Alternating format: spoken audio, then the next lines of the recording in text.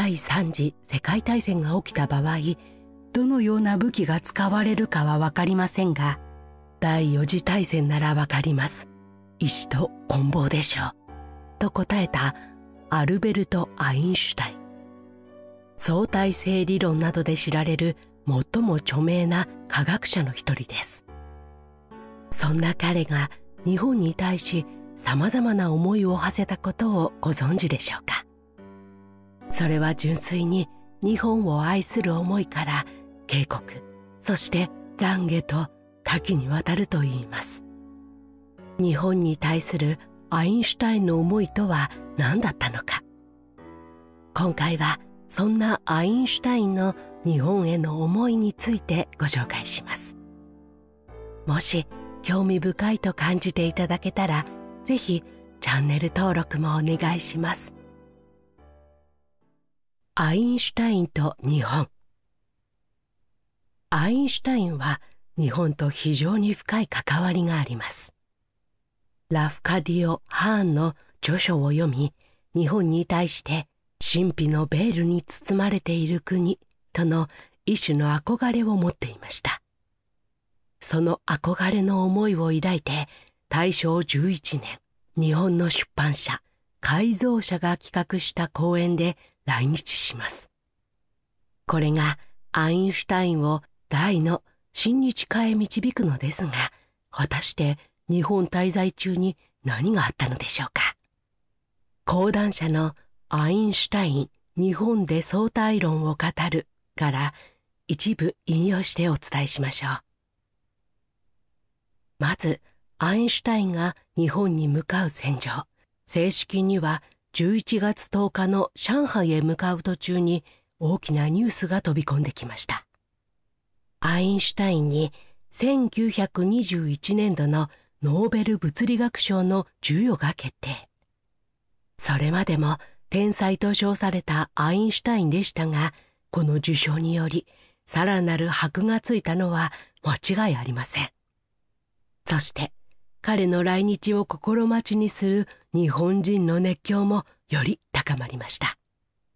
もともと、日本に対して憧れの感情を抱いていたアインシュタインですが、この時点での日本人に対する認識はそれほど特別ではありませんでした。それは日本とアインシュタインの関係性を記した書籍などで知ることができます。それらによると、船内で出会った日本人の印象として、非個性で共同体や国家に対して経験とアインシュタインは感じたようです。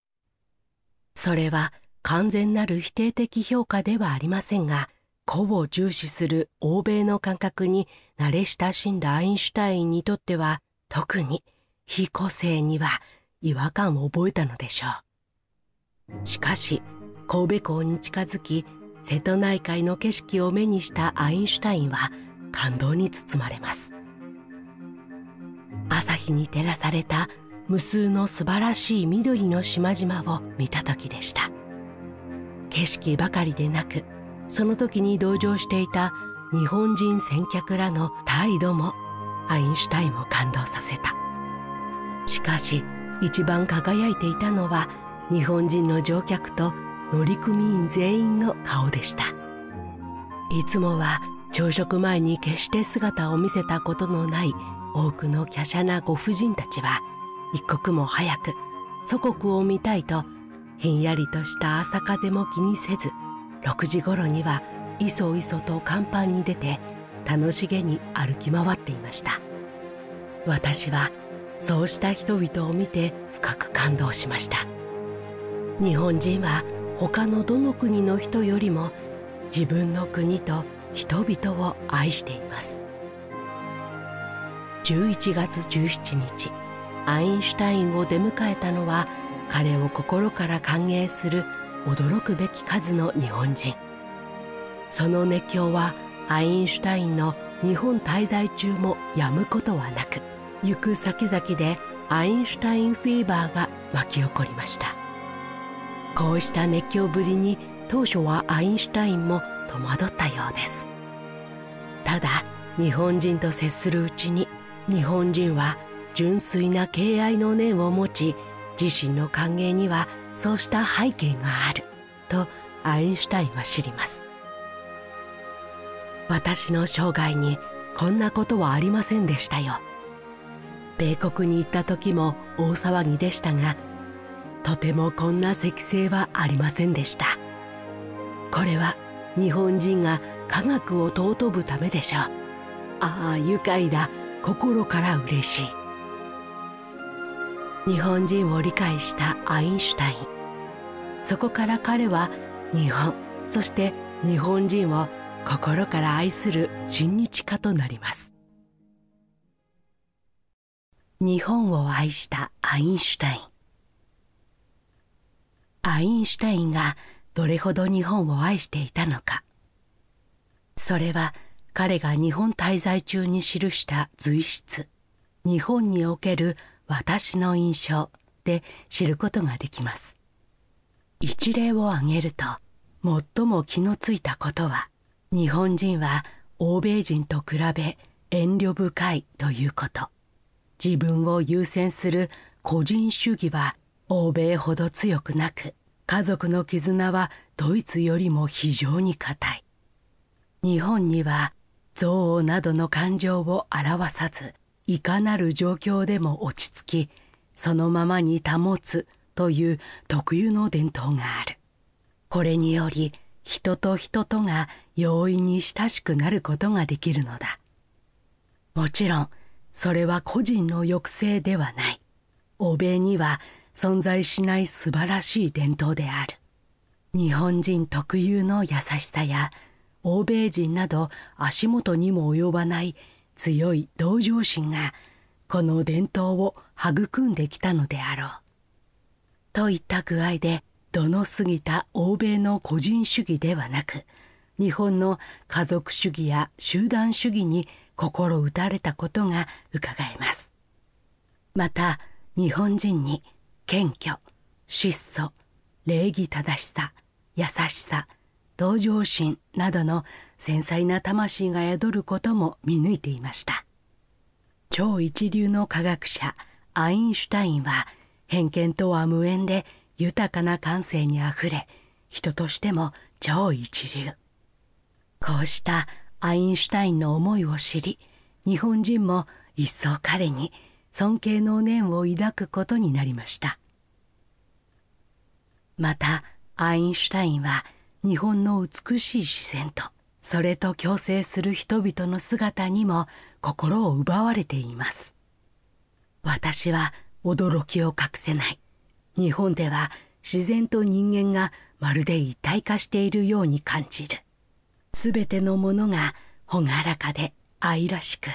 その多くは自然との密接な結びつきがある。緑豊かな小さな島々。丘陵の景色と木々。丁寧に耕された田畑と傍らに立つ小さな小屋。日本人の言葉に所作。さらには衣服から家具に至るまで。礼儀正しい人々の絵のように美しい笑顔。お辞儀。座っている姿にはただただ驚くばかりです。しかし真似することはできません。人間と自然の美しいまでの調和は日本の伝統芸術としてアインシュタインの心に深く刻み込まれていきました。こうした40日以上にも及ぶ日本の滞在がアインシュタインを親日家に変身させたわけです。12月29日にアインシュタインは帰国の途につきますがその前日の新聞紙面にはアインシュタインから日本国民への感謝のメッセージが掲載されました。地球上に日本国民のような謙虚で特実な国民が存在することを知った。これまで世界各国を訪ねたがこれほどまでに純粋な心を持つ国民に出会ったことはなかった。また日本の芸術や自然にも一種独特の価値があると知った。ここでもアインシュタインは日本人の国民性と日本の素晴らしさを褒めたたえていました。ただその後の文言に気になる部分があったのも事実です。アインシュタインの警告。気になる文言とは日本国民が欧州に感染しないことを希望するという言葉です。帰国前の記者会見でもアインシュタインはそれに触れています。また様々なところで外国にかぶれるのは日本と日本人のためには良くはない。良さを求めて変化をするのは構わないが大事にすべき文化や伝統までも破壊するのは感心しません。と西洋の科学技術を学び発展した日本ですが一方で科学技術には自然を征服利用する姿勢があるのも事実です。それは自然との一体化共存を図る日本人の姿勢とは反するもの。前述した書籍、アインシュタイン、日本で相対論を語る。では、これをアインシュタインからの警告として次のように紹介しています。確かに日本人は西洋の知的業績に感嘆し、成功と大きな理想主義を掲げて科学に飛び込んでいます。けれども、そういう場合に西洋と出会う以前に日本人が本来持っていてつまり生活の芸術家個人に必要な謙虚さと質素さ日本人の純粋で静かな心それらのすべてを純粋に保って忘れずにいてほしいものですアインシュタインは彼が愛した日本の芸術や優しい国民性が欧米化の潮流で失われつつあることを見抜いていました。そしてもう一つ、とても重要なことも。同じ記者会見の席でアインシュタインはこうも述べています。日本で気になった点は、軍人を見かける頻度が高いことに平和を願う神社にも武器や鎧が飾られていること。また、大阪では会場にいくつも日本とドイツの国旗が飾られていました。親切な日本人が日独親善のために飾ってくれたことには深く感謝しますが、軍国主義のドイツに嫌悪感を持つ私は正直複雑でした。平和を好むアインシュタインは日本に忍び寄る軍国主義の足音にも不安を抱いていました。そしてそれは現実となります。1930年代、ヨーロッパではナチスドイツが猛威を振るい、そして第二次世界大戦へと突入します。ドイツでは多くのユダヤ人が迫害を受け、命の危険を感じたアインシュタインはアメリカへ亡命していました。日本と同盟を結ぶドイツから逃れたアインシュタインの亡命先が敵国となるアメリカ。アインシュタインと日本を紡ぐ光の糸が断ち切られた瞬間でした。アインシュタインは同じく亡命をしてきた物理学者レオ・シラードからアメリカ大統領に直訴する手紙へのサインを頼まれます。シラードの主張はドイツでは原子爆弾の開発が進み、アメリカも早急に開発しなくては手遅れになるとのこと。世界的権威のアインシュタインがサインすれば大統領も見過ごせないだろうとの目論みです。当然、アインシュタインは原爆が完成した場合の悲劇は理解しています。しかし、それをナチスドイツが手にしたら、ユダヤ人に向けられたら、それが一番の恐怖でした。苦渋の選択。2週間ほど悩み抜いたアインシュタインは、ついにその手紙にサインをしました。ここで一つ注釈を入れておきますと、アインシュタインはサインをしたものの、マンハッタン計画には一切関与していませんし、計画がスタートしたことも知らなかったようです。日本人への謝罪と涙の理由。そして昭和20年、広島と長崎に原爆が投下されました。その一報を聞いたアインシュタインは衝撃を受けます。その後、広島の平和活動家、谷本清牧師とノーベル物理学賞を受賞した湯川秀樹と面会した際にアインシュタインは原子爆弾製造の後押しをしたことを悔やみ涙ながらに謝罪しています。何の罪もない多くの大切な日本人を傷つけてしまった。悔やんでも悔やみきれない。と。その後アインシュタインは核兵器の廃絶と科学技術の平和利用を生涯にわたり訴え続けています。平和主義者であるアインシュタインらしい行動ですがやはり日本が被爆国となったことが大きかったのかもしれません。ユダヤ人として生まれた天才科学者平和を愛し人としても優れたアインシュタイン。彼は科学の素晴らしさも恐ろしさも知っていました。そんな彼ならではの苦悩だったのでしょう。科学が進み核兵器が生まれると人類の平和のみならず地球環境さえ危機に陥りました。冒頭の第三次世界大戦が起きた場合どのような武器が使われるかは分かりませんが第四次大戦なら分かります。意志と棍棒でしょう。との言葉には全面核戦争かあるいは未知の新兵器による破滅的な第三次世界大戦を経たならば人類文明の崩壊は必至でありその後はたとえ世界規模の大戦が起きても武器はもはや石と棍棒しかないだろうという意味の予言というよりは